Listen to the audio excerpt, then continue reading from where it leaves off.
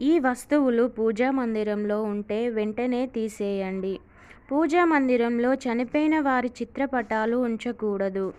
ఇనుప సామాన్లను పూజా మందిరంలో ఉంచరాదు. ఇనుము దరిద్ర దేవత ప్రతినిధి. దరిద్ర దేవత మరో పేరు ఇనుపగజ్జల తల్లి అని కూడా పిలుస్తారు. పలిగిపోయిన చిత్రపటాలు పూజా మందిరంలో ఉంచరాదు. చిరిగిపోయిన వస్త్రాలు దేవుడి పటాలు తుడవడానికి వాడుకునే వస్త్రాలు చిరిగిపోతే వెంటనే తీసి బయట పడేయాలి. పూజా మందిరంలో ఉంచకూడదు. ఒకే రకమైన దేవుడి పటాలు రెండు పెట్టుకోకూడదు.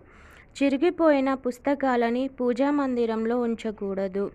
నల్లని వస్తువులు వస్త్రాలు అలాగే వాడిపోయిన పువ్వులు దీపం నుండి తీసేసిన వత్తులు పూజా మందిరంలో పెట్టకూడదు. ఈ వీడియో నచ్చితే లైక్ చేసి మా ఛానల్ని సబ్స్క్రైబ్ చేసుకోండి. Thanks for watching.